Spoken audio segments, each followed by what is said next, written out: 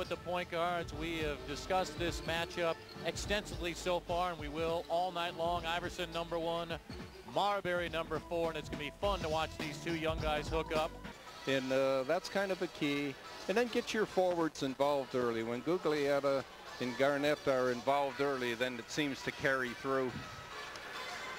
Yeah, you see Iverson and Marbury hooking up. And it, it's interesting to discuss it where both coaches are saying, look, I want Iverson to do this if I'm Johnny Davis. If I'm Flip Saunders, I want Marbury to do this. But when the game starts, will all of that apply when all of a sudden they're hooking up one-on-one -on -one for a second and final time Friday at the brand new Core State Spectrum. Just how you want it. First matchup of the night. Iverson Marbury drive and the conversion on the weak side by the veterans. It's in fact their 28th in the league defensively. So Johnny Davis happy with the points so far. Eight already. But here's the problem. Inside scoring against them all season. New Jersey and Philadelphia and realize when he is on, he is a very difficult matchup. Here's Garnett inside again. The problem here is uh, Weatherspoon not only is giving him position, Marbury stutter step, baseline, and the good pass. And I think Saunders McHale and company probably pleased here because that's the second time tonight, a little room and then passing the ball as opposed to the shot. One from Georgetown, Steph number four from Tech, and there is a good wraparound knock out of bounds by Iverson. Timberwolves in the early stages, Chad, are getting good shots. You know, they're moving the ball, taking some penetration. You see on this one, Stephon just a, a stutter step, goes right by Iverson, but gets in some inside help on defense. KG inside, offensive opportunities. Good deflected pass. Garnett, no good. But look at Garnett inside, rebounding. They call it a high percentage shot. Can you dish the rock like this? And here's Garnett working inside. Oh, and he got the reverse. Don't bring it if you don't need. Nice play by the point guard. Iverson. How does he respond to the good pass from Marbury? Takes the jumper and knocks it out from 16. Just aren't communicating on defense. They end up with two guys on the ball, leaving the jump shooter standing alone. Got to talk to each other.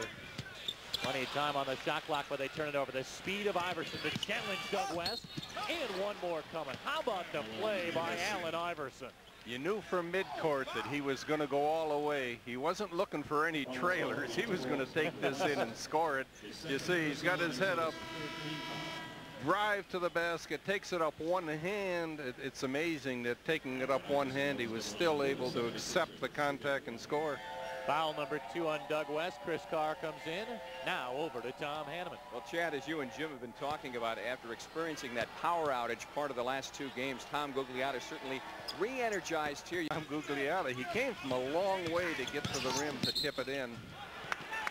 And they're going to call an offensive foul. The left hand clearing out for Allen Iverson.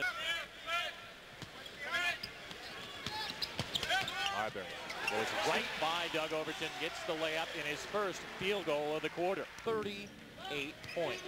Nice run for Minnesota. Iverson slows that run down with the open jumper situation. Deflected rebound to Cage. Here he comes, wheeling and dealing. What a crossover by Iverson.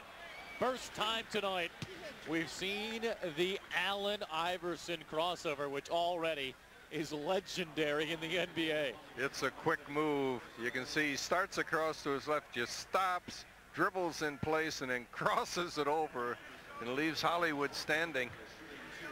Quick move back to his right. Boom. Ow. I would assume when you watch tape and you're the player who falls for that move, your teammates might let you know about it in a, in a sort of friendly way, and I bet Hollywood will listen to that. He's not the only here at the Target Center. Game five of a six-game homestand, and Iverson set to the deck, 45-44. That's a better way to thread yourself through the Minnesota defense. Garnett will guard a variety of players trying to slow down Stackhouse, and nobody can stop that drive and slam by Jerry Stackhouse, who's loving it, heading the other way. Yeah, when they want to go one-on-one, -on -one, it's fun to watch. Iverson right now. A little better stamina. Here's Stackhouse trying to get by KG, and we saw that move again. Jerry Stackhouse Wheeling and dealing by Minnesota. Slams it home. Michael Cage came in. Scott Williams sat down. No foul problems. Just wanted to make a change. Iverson rimming out. Iverson heading to the line. Interesting things watching it was the expression on Derrick Coleman when when it's going well and it doesn't. And already hit by five. Good pass by Marbury and a better finish by KG. The 20-year-old hook up on a brilliant play. second consecutive steal for Marbury. This time he goes all the way and scores it. Shot clock right now 12. Iverson wanting with a one-on-one. Iverson, three. Count it. Allen Iverson dials one up from long distance. Lead for Philly. Remember what those threes can do to games. Marbury stutters to baseline drive, reverse. Yes! Nice quick baseline reverse layup. Minnesota's way. Here they come. Marbury, Iverson, no, who, yes. What a run by Minnesota. Now it's a two-point game. The building on fire here in downtown Minneapolis. And they're checking here on who the foul is on. Iverson is looking at a conversation between Woody Mayfield and Ronnie Nunn. And uh, Ronnie's not backing away. Allen Iverson doesn't know who to appeal to. I don't think the fans are going to take his side. he was trying to find Johnny Davis and ran right by him. He gets into the lane and there's no place to go with the ball. Just puts it straight up in the air and makes it go, draws the ball. What a change of direction by Stephon Marbury. What a highlight play and what a comeback this has been. Steph now with 21 points. Chance to tie it at 100. Free throw. Yes. Comeback is complete. Minnesota down by 12 late in this quarter. They're going to win it 104-100. Saunders and Marbury elated about this victory. Oh, work away. Oh, yeah. Give McHale with a hug. Allen Iverson, he a great player. We came out, we played hard. We came out sluggish at the beginning, but we showed a lot of heart tonight. And we showed that we had more tonight. It's just going to be a rivalry like Magic and Bird. It's going to go on for about 15 more years. So, I mean, it's going to be, we're going to win some, we're going to lose some.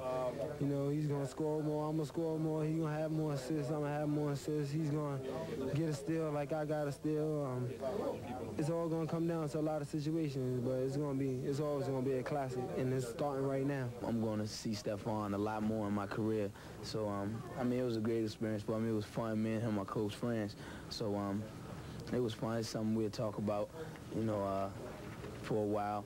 But, you know, they got to get ready to come back to Philly in a couple of days. So, you know, right back at